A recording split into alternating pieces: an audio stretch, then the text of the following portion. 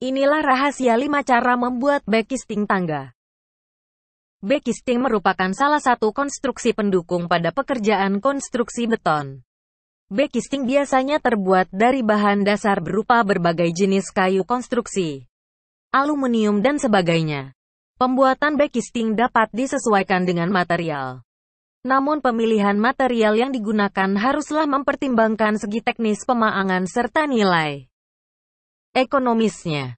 Untuk membuat backisting sebenarnya dapat dibentuk secara konvensional pada lokasi pekerjaan atau dapat pula melalui sistem pabrikasi atau juga merupakan pengembangan dari sistem backisting yang mudah dipasang, memiliki daya tahan kuat, tahan lama dan mudah dibongkar.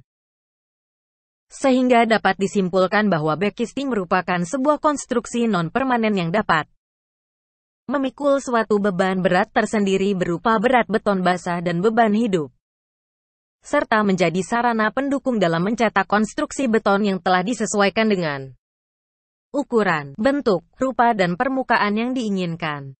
Maka dapat dikatakan bahwa peranan backisting adalah pada proses produksi konstruksi beton. Berdasarkan dari pengertian tersebut, meskipun backisting merupakan konstruksi sementara namun konstruksi backisting tetap harus kuat serta mampu menahan beban kerja pada proses pekerjaan. Secara umum, backisting memiliki beberapa fungsi sebagai berikut. Konstruksi backisting dapat menentukan bentuk dari konstruksi beton yang akan dibuat. Backisting harus memikul beban dengan aman.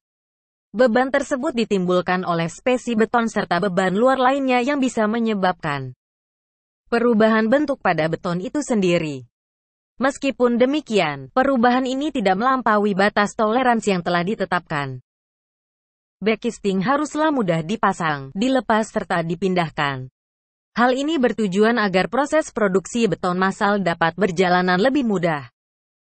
Dari segi fungsi, backisting dapat dibedakan kembali menjadi tiga bagian konstruksi, yakni backisting kontak, konstruksi penopang backisting, penjaga kestabilan backisting bracing atau skur. Sedangkan jika melihat proses desain cetakan, Anda perlu memperhatikan beberapa hal berikut ini.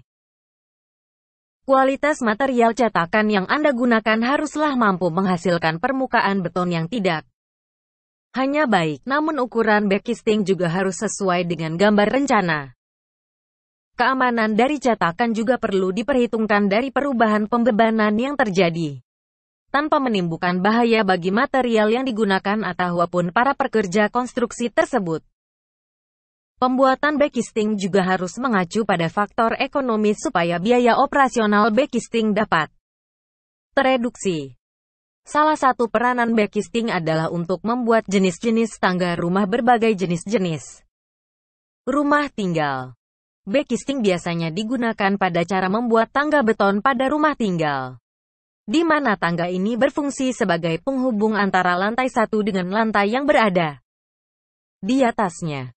Tangga beton ini biasanya digunakan pada rumah minimalis sederhana dan berbagai desain rumah minimalis lainnya. Dalam proses pembuatan tangga rumah, backisting memiliki peranan yang sangat penting. Apabila backisting tidak dipasang atau tidak dapat menahan beban dengan baik, maka tangga rumah tidak dapat tercipta. Seperti yang sudah dijabarkan sebelumnya. Backisting dapat dibuat secara tradisional ataupun melalui sistem pabrikasi. Cara membuat backisting tangga sebenarnya dapat disesuaikan dengan cara membuat backisting pada umumnya. Jika Anda berniat untuk memproduksi sendiri backisting tangga di rumah, Anda perlu mengetahui tahapan-tahapan pelaksanaan yang tepat. Secara umum, berikut ini adalah cara membuat backisting yang baik dan benar, simak. 1. Tahap persiapan. Backisting ini sebenarnya harus disesuaikan dengan kebutuhan tangga. Sebelum proses pembuatan backisting, Anda perlu melakukan perhitungan backisting tangga secara cermat. Setelah selesai dilakukan, Anda baru dapat memulai proses pembuatan. Pertama-tama siapkan triplex dengan ukuran contoh 25 x 450 cm sebanyak dua lembar untuk dua sisi. Umumnya panjang triplex adalah 8 kaki atau ketiar 244 cm. Maka dari itu, Anda dapat menyambung dua lembar triplek menjadi satu agar mendapatkan ukuran 450 cm. 2. Proses penyambungan triplex Proses penyambungan triplek kemudian dilakukan dengan bantuan kayu berukuran 1 x 2 serta panjangnya 4,5 meter. Pada kasus ini gunakanlah paku berukuran 1,5. Penyambungan ini dapat pula berfungsi untuk membuat lembaran triplex menjadi lembaran yang memiliki daya tahan lebih kuat serta kaku. 3. Potong triplex Triplex kemudian dipotong dengan ukuran 41,8 x 450 cm persegi sebanyak dua lembar. Triplex yang sudah dipotong tersebut kemudian disambungkan seperti pada tahap pekerjaan 1 dan 2. Namun di sini, Anda akan menggunakan tiga batang kayu berukuran 1 x 2 x 4,5 meter. Sebab triplex tersebut memiliki bidang yang jauh lebih lebar agar kuat dan kaku yakni sekitar 41,8 cm. 4. Merakit triplex. Keempat lembar triplex yang telah siap kemudian dirakit satu sama lain. 5. Membuat stang pengaku. Selanjutnya, Anda perlu membuat stang pengaku untuk mengunci keempat sisi backisting agar semakin kuat dan kokoh. Cara pembuatan backisting ini sebenarnya tidak terlalu sulit namun membutuhkan ketelitian yang tinggi. Inilah rahasia 5 cara membuat backisting tangga. Jangan lupa berlangganan di Arif Ipo.